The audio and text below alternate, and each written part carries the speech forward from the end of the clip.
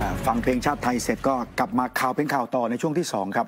ช่วงแรกเนี่ยเราจะมาตั้งแต่ 17นาฬิกา25 นาที แล้วก็ติดพันกันมาเรื่องของสวชุดใหม่ค่ะนะที่เกริ่นไว้ก็คือบิ๊กเกรียงทีนี้ฮะอืมนี่คือตัวเต็งที่จะเป็นประธานวุฒิสภาค่ะนะอันนี้กัดตัวคำว่าตัวเต็งเนี่ยก็คือสื่อแหละเก่งไว้ค่ะว่าคนนี้แหละนะอ่าท่านได้เป็นอดีตเอ่อแม่ทัพภาคที่สี่ นะคือทำงานอยู่ในจังหวัดชายแดนภาคใต้อะนะแล้ววันนี้ไปรับหนังสือรับรองที่กกตครับ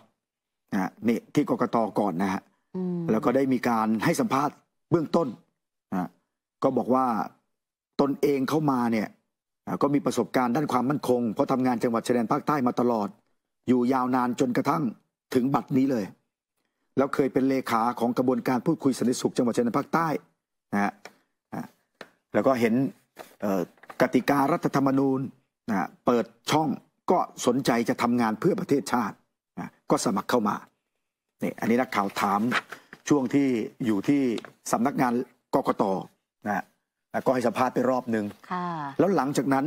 ช่วงสายฮะก็ไปที่รัฐสภาอืมพลเอกเกรียงไกรศรีรักษ์ครับ ไปที่รัฐสภาก็ถูกนักข่าวถามอีกเห็นไหมอ่าเนี่ยคือสะท้อนว่าเป็นตัวเต็งจริง ๆ เพราะกุ้มรุมสัมภาษณ์เลย ค่ะ แล้วประเด็นสำคัญที่นักข่าวสัมภาษณ์ก็คือ จะเป็นตัวจริงของแคนดิเดตประธานวุฒิหรือไม่อืมท่านมีมุมมองอย่างไรลองไปฟังค่ะมีการมองกันว่าท่านอาจจะเป็นตัวเต็งประธานวุฒิสภาด้วย ก็มีมุมมองอย่างนั้นตามสื่อนะครับ แต่ว่าตัวผมเองเนี่ย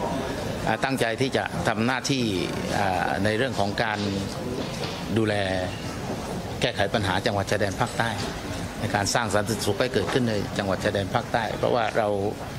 อ่ามีประสบการณ์ และก็คิดว่าตัวเองมีองค์ความรู้ในการที่จะอ่าก้าวเข้ามาสู่การดำเนินการในตรงนี้มากกว่านะครับถ้าหากได้รับเลือกจริงๆ แล้วพร้อมจะทำหน้าที่ไหมคะประธานหรือรองประธานอย่างเงี้ยค่ะผมว่าเอาให้ถึงเวลานั้นทุกคนต้องพร้อมหมดแหล้วครับ ไม่เฉพาะผม ไม่ว่าสมาชิกอ่าท่านใดทั้ง 200 คนมีสิทธิ์เท่าเทียมกัน ในการที่จะอ่าถูกเลือก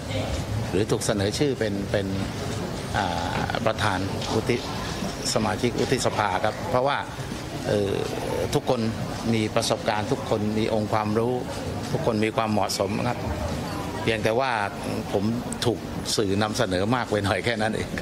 มีการคือท่านก็ยอมรับว่าเห็นตามสื่อนะคะ แต่ก็ยังเร็วเกินไปนะคะ ที่จะพูดถึงเรื่องของตำแหน่งและทุกคนก็มีสิทธิ์อยู่แล้วครับ นักข่าวก็ถามต่อว่าบิ๊กเรียงเนี่ยดูเหมือนกับว่าจะมีความสัมพันธ์กับพรรคการเมืองบางพรรคหรือเปล่าพูดง่ายๆ ก็คือ ดูใกล้ชิดกับคุณอนุทินนะ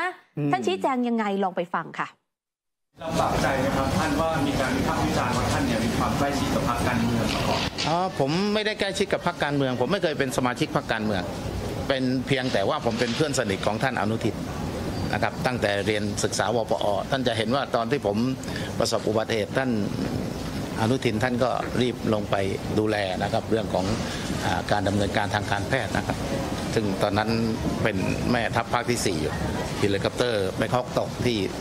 สงขลานะครับคุณอนุทินได้ให้คำแนะนำไหมคะตั้งแต่การสมัครเป็นสวไม่ได้ให้คำแนะนำใดครับ ผมไปลาออกท่านยังไม่ทราบเลย ท่านตกใจนะครับเรื่องจริงคือท่านตกใจว่าพี่เอาแน่เหรอบอกใช่เอาแน่นะฮะก็ลองดูนะครับ ผมบอกท่านว่าผมอยากจะ มาทำหน้าที่ในเรื่องของการแก้ไขปัญหาจังหวัดชายแดนภาคใต้นะครับ ด้วยด้วยประสบการณ์และก็ด้วยองค์ความรู้และได้พูดคุยกันอีกครั้งเลยค่ะเอาพบปากกันครับ พูดคุยกันอยู่เสมอครับท่านลงไปปฏิบัติหน้าที่ในพื้นที่จังหวัดชายแดนภาคใต้ ผมก็ให้คำแนะนำแล้วก็ติดตามท่านไปบางเวลาที่มีโอกาสนะครับด้วยเหตุนี้ค่ะทำให้หลายคนวิเคราะห์ว่าท่านจะได้รับการสนับสนุนจากสวสายสีน้ำเงินโอ้โหไม่ครับไม่ครับ เพราะว่า ที่ท่านว่าผมเป็นสวสายสีน้ำเงินน่ะผมสีน้ำเงินเข้มนะครับ ผมชาติศาสนาพระมหากษัตริย์นะครับโดยเฉพาะสถาบันพระมหากษัตริย์เทิดทูนด้วยชีวิตครับจนถึงตอนนี้มีการยกโทรศัพท์หาไหมครับว่าท้าบทามเป็นประธานวุฒิอะไรอย่างเงี้ยครับ ไม่มีครับไม่มีไม่มีใครทาบทามผมเลยครับ มีแต่สื่อนี่แหละครับขอบคุณมากที่สื่อไว้วางใจนะครับเห็นหลังบ้านคุยกันเขาคุยมีการคุยกันบางคนมีการคุยกันอะไรเงี้ยครับมีมีติดต่อมาบ้างไหมครับ หลังบ้านผมไม่มีใครติดต่อเลย โอ้โหเนี่ยฮะไม่มีใครทับทามมีแต่สื่อเนี่ยนะฮะอ่าส่วนสีน้ำเงินเหรอสีน้ำเงินเข้มอืมนะเทิดทูนด้วยชีวิตก็คือสถาบันพระมหากษัตริย์ค่ะนี่จริง ๆ ท่านพูดตั้งแต่ตอนที่สำนักงานกกตนะค่ะประเด็นเนี้ยครับ ประเด็นที่บอกว่ามีการนำเสนอว่าเป็นสวที่มีสี ตอนนั้นท่านพูดว่ายังไงเสียกำลังใจบ้างไหมคะเพราะว่า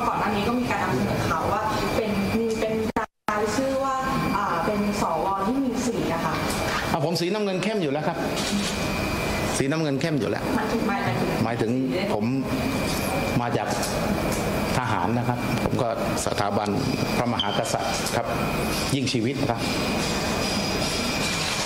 ชาติศาสนาพระมหากษัตริย์ แดงขาวน้ำเงิน น้ำเงินแถบใหญ่มากนะตรงกลางสำคัญมากครับท่านข่าวรู้สึกนี่ไงย้ำแล้วย้ำอีกเนี่ยพลเอกเกรียงไกรศรีลักษณ์ค่ะ อดีตแม่ทัพภาคที่สี่นะสถาบันพระมหากษัตริย์นะปกป้องยิ่งชีวิตนะส่วนชาติชาติสีแดง ชาตินะก็คือประชาชนด้วยอยู่ในชาตินั้นนะสีขาวคือศาสนา สีน้ำเงินใหญ่สุดตรงกลาง สถาบันพระมหากษัตริย์นะแล้วก็ที่รัฐสภาครับวันนี้หลังการให้สัมภาษณ์พลเอกเกรียงไกรเนี่ยเอ่อนักข่าวสังเกต เอ๊ะมีรอยพระเครื่องนูนออกจากเสื้อ ก็เลยขอดู คือท่านเป็นนายทหารไง แล้วผ่านเหตุการณ์เฮลิคอปเตอร์ตกมาแล้วไงค่ะในระหว่างปฏิบัติหน้าที่นะครับ ท่านก็เลยต้องเปิดให้ดูเลยอ่าเดี๋ยวลองไปดูฮะอันที่อันอันที่ฮอตกเนี่ยครับเนี่ยมีครับมีมีมีพระกิ่งปาวเรศครับยกยกขึ้นกิ่งปาวเรศปี 30 นะครับ ที่ในหลวงรัชกาลที่ 9 ท่านเป็นองค์ประธานในการเททองอันนี้ที่ฮอตกที่ฮอตกครับและนี่ก็เป็นหลวงปู่ทวดครับอ่าหลวง ปู่ทวดก็หลวงปู่ทวดปกติธรรมดาอยู่แล้วครับนะได้เป็นสวเพราะหลวงปู่ทวดด้วยปะคะอ่าไม่ใช่นะครับ ถ้าถ้าช่วยหลวงปู่ทวดต้องเป็นรุ่นเลื่อนสมณศักดิ์แต่ว่าวันนี้ไม่ได้ห้อยคอรุ่นเลื่อนสมณศักดิ์ท่านคิดว่าได้เป็นสวเพราะเพราะเพราะเพราะผมว่าผมมี FC เยอะสักหน่อย อันนี้เข้าข้างตัวเองนะครับ ไม่ได้มูใช่ไหมครับท่านไม่ได้มูไม่ได้มูอันนี้คือเรื่องแคล้วคลาดอย่างเดียวใช่ไหมคะอ่าผมเป็นเป็นเป็นหลวงปู่ทวดแล้วอีกอีกอีกอ่าเป็นอะไรหลวงคะหลวงสามองค์หลวงพ่อสุดครับหลวงพ่อสุดเป็นพระที่ของจังหวัดสุราษฎร์ครับวัดหนองหวายหลวงพ่อสุดแล้วก็ผมที่ที่ใส่อยู่ตอนนั้นก็มีอ่าไข่วัดเจดีย์เอ่อครับนครศรีธรรมราชหลวงพ่อพัดของสุราษฎร์ธานีนะครับส มเห็นเด็จบอกไม่มูก็ทำไมเยอะจังอ่ารัชกาลที่เก้าเยอะแยะแบบครับมีคนให้มาเยอะแยะหมดเยอะแยะหมดครับ แต่เวลาขึ้นฮอนี่วันนั้นลืมจริง ๆ คือที่ฮอตกลืมท่องอิติปิโสอะจริง ๆ นะครับ จริงๆ ทุกวันเนี่ยเวลาขึ้นฮอว่าท่องอิติปิโสก่อนแสดงว่าก่อนจนกระทั่งสวก็ท่องอิติปิโสแต่วันนั้นเห็นระยะทางมันไม่ไกลนักก็เลยลืมท่อง มาร่วมสนับสนุน Top News นำเสนอความจริงได้แล้ววันนี้ เพียงกดปุ่ม Super Thanks แล้วเลือกจำนวนเงินตามที่ต้องการได้เลยครับ ขอบคุณครับ